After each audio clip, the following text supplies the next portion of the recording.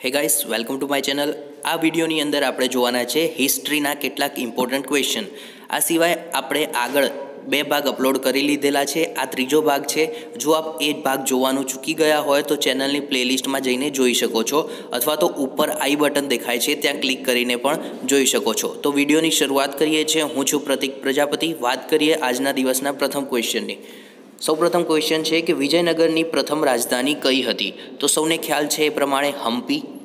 ત્યારબાદ બાબરને ભારત પર આક્રમણ કરવા માટે કોને આમંત્રણ આપ્યું હતું? તો બાબરને ભારત પર આક્રમણ કરવા માટે દૌલત ખાં લોધી અને આલમ ખાં એમને આમંત્રણ અપાયું હતું. ત્યારબાદ તુલસીદાસ એ કયા મુગલ બાદશાહના સમકાલીન હતા? તો અકબરના સમયમાં થઈ ગયા તુલસીદાસ. શાહજહાંની માતાનું નામ શું હતું? તો જગત ગોસાઈ એ શાહજહાંની માતાનું નામ હતું. કયો મુગલ બાદશાહ જ્યોતિષમાં વધુ વિશ્વાસ ધરાવતો હતો? તો હુમાયુ એ જ્યોતિષ શાસ્ત્રમાં વધુ માનતો હતો. મયુર સિંહાસન પર બેસનાર અંતિમ મુગલ બાદશાહ કોણ હતો? તો મોહમ્મદ શાહ એ મયુર સિંહાસન ઉપર બેસનાર સૌપ્રથમ એટલે કે સોરી અંતિમ મુગલ બાદશાહ હતો. કેમ તો કે એના પછી તો નાદિર શાહ છે એ આક્રમણ કરે છે અને જે મયુર આસન છે એ પોતાની સાથે ઈરાન લઈ જાય છે. નેક્સ્ટ ક્વેશ્ચન છે કે જિંદા પીર તરીકે કોણ ઓળખાતું હતું? તો ઔરંગઝેબ છે, એને જિંદા પીર કહેવામાં આવતા હતા. કયા મુગલ શાસકનો રાજ્યાભિષેક બે વાર થયો હતો? તો ઔરંગઝેબનો જે રાજ્યાભિષેક છે એ બે વાર કરવામાં આવે છે. હજાર દિનારી તરીકે કોણ પ્રખ્યાત છે? તો માલિક કાફુર એ હજાર દિનારી તરીકે ઓળખાતા હતા. ત્યારબાદ ટીપુ સુલતાનની રાજધાની કઈ હતી? તો જે શ્રીરંગપટ્ટમ છે એ ટીપુ સુલતાનની રાજધાની હતી. ત્યારબાદ આગળ વાત કરીએ કે મરાઠા રાજ્યની સ્થાપના કોને કરી હતી? તો શિવાજી દ્વારા મરાઠા રાજ્યની સ્થાપના કરવામાં આવે છે. એના પછી નેક્સ્ટ ક્વેશ્ચન છે કે ઔરંગઝેબે શિવાજીને કેદ કર્યા હતા? તો એ જગ્યા કઈ હતી? તો શિવાજીને જ્યાં કેદ કર્યા હતા, એ હતું આગ્રાના જયપુરનું ભવન. ઓકે, ત્યાં એમને કેદ કરવામાં આવ્યા હતા. નેક્સ્ટ ક્વેશ્ચન છે કે અષ્ટદિગ્ગજ કોના દરબારમાં હતા? તો કૃષ્ણદેવ રાય, એના દરબારની અંદર અષ્ટદિગ્ગજ જોવા મળે છે. આદિ ગ્રંથનું સંકલન કોણે કર્યું? તો ગુરુ અર્જુનદેવ દ્વારા આદિ ગ્રંથનું સંકલન કરવામાં આવ્યું હતું. નેક્સ્ટ છે ગુરુમુખી લિપિનો પ્રારંભ કોણે કર્યો હતો? તો ગુરુ અંગદે ગુરુ લિપિનો પ્રારંભ કર્યો હતો. કોણાર્કનું સૂર્ય મંદિર કોણે બંધાવ્યું હતું? તો નરસિંહ પ્રથમ એમને કોણાર્કનું સૂર્ય મંદિર બંધાવેલું છે. ઓકે નીચે કોમેન્ટમાં આપણે જણાવવાનું રહેશે કે ગુજરાતની અંદર જે સૂર્ય મંદિર આવેલું છે, મોટેરા ખાતે, એનું નિર્માણ કોના દ્વારા કરાવવામાં આવ્યું હતું? ઓકે ત્યારબાદ નેક્સ્ટ ક્વેશ્ચનની વાત કરીએ. અકાલ તખ્તની સ્થાપના કોણે કરી હતી? તો ગુરુ હરગોવિંદ સિંહે અકાલ તખ્તની સ્થાપના કરી છે. પૃથ્વીરાજ ચૌહાણનો દરબારી કવિ કોણ છે? તો ચંદ બરદાઈ, કે જેમને પૃથ્વીરાજ રાસો લખેલું છે. શાહનામાના લેખક કોણ છે? તો ફિરદોસી એમને શાહનામું લખેલું છે. કર્ણાટકમાં ગોમતેશ્વરની મૂર્તિનું નિર્માણ કોણે કરાવ્યું હતું? તો ચામુંડરાય દ્વારા ગોમતેશ્વરની મૂર્તિનું નિર્માણ કરાવેલું છે અને ક્યાં છે તો એ છે કર્ણાટકની અંદર.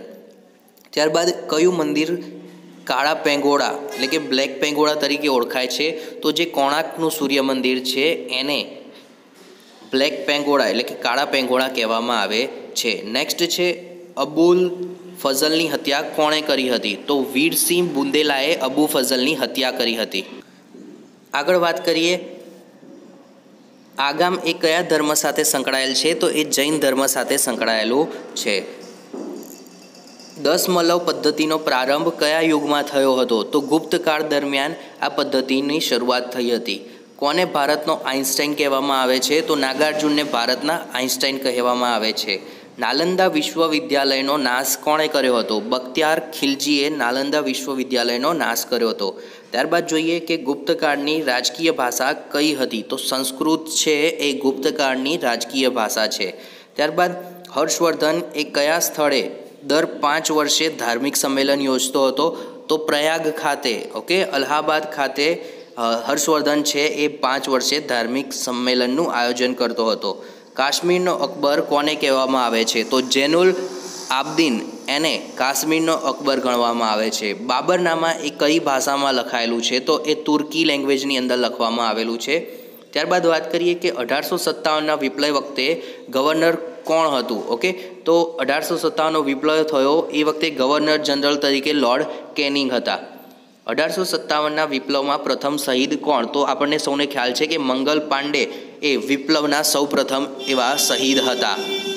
ત્યારબાદ વાત કરીએ કે અંતિમ મુગલ સમ્રાટ કોણ હતું? તો બહાદુર શાહ બીજો એ છેલ્લા મુગલ સમ્રાટ હતા.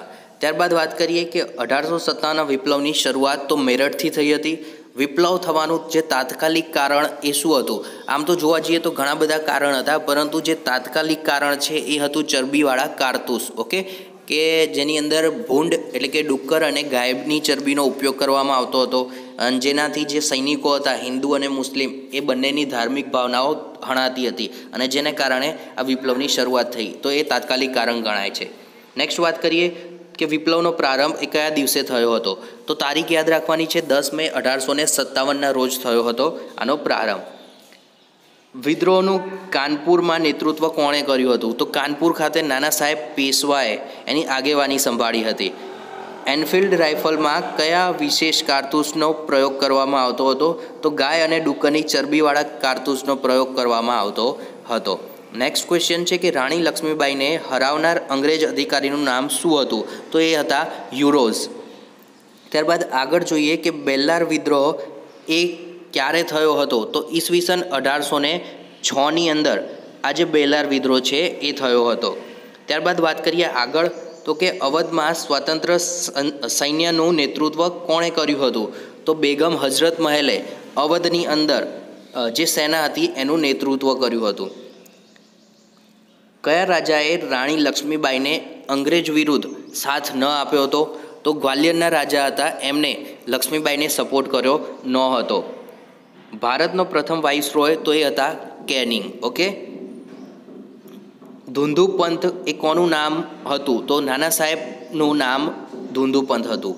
મંગલ પાંડેને મૃત્યુદંડ આપ્યા પછી સૌપ્રથમ વિગ્રહ તો એ મેરઠ ખાતેથી શરૂ થયો હતો, ઓકે? રાજસ્થાનમાં સૌપ્રથમ અઢારસો સત્તાવનનો જે વિદ્રોહ છે, એટલે કે ક્રાંતિ છે, એ કયા સ્થાને શરૂ થઈ હતી. તો રાજસ્થાનની અંદર જે નસીરાબાદ છે, ત્યાં આ વિપ્લવની શરૂઆત થઈ હતી. અઢારસો સત્તાવનની ક્રાંતિ દરમિયાન કયા નેતાઓને અંગ્રેજોને વારંવાર પરાજિત કર્યા? પરંતુ અંગ્રેજો છે એ નેતાને પરાજિત કરી શક્યા ન હતા. તો જવાબ આવશે કુંવરસિંહ, ઓકે? તો અઢારસો સત્તાવનની જે ક્રાંતિ હતી, એ વખતે કુંવરસિંહે અંગ્રેજોને ઘણી બાર હરાવ્યા છે. પરંતુ અંગ્રેજો એમને એક સિંગલ વખત પણ હરાવી શક્યા ન હતા. ત્યારબાદ વાત કરીએ કે સતી પ્રથા નાબૂદીમાં કયા અંગ્રેજોનો અગત્યનો ફાળો છે? તો લોર્ડ વિલિયમ બેન્ટિંગ છે, એનો ખૂબ જ એવો ઇમ્પોર્ટન્ટ ફાળો છે કે જેને સતી પ્રથાને નાબૂદ કરતો એક કાયદો બનાવ્યો હતો. ત્યારબાદ આગળ વાત કરીએ કે કયા કાયદા અંતર્ગત કંપનીનું શાસન સમાપ્ત થયું? તો ગવર્મેન્ટ ઓફ ઇન્ડિયા એક્ટ અઢારસો ને અઠ્ઠાવન અંતર્ગત જે કંપનીનું શાસન હતું ભારત પર એ સમાપ્ત થાય છે અને કંપ ડાયરેક્ટ એ શાસન બ્રિટિશ તાજના હેઠળ આવે છે. ઓકે નેક્સ્ટ વાત કરીએ કે સહાયકારી યોજના કોણે બનાવી હતી? તો લોર્ડ વેલેસલી એના દ્વારા આ જે સહાયકારી યોજના છે, એનું નિર્માણ કરવામાં આવે છે.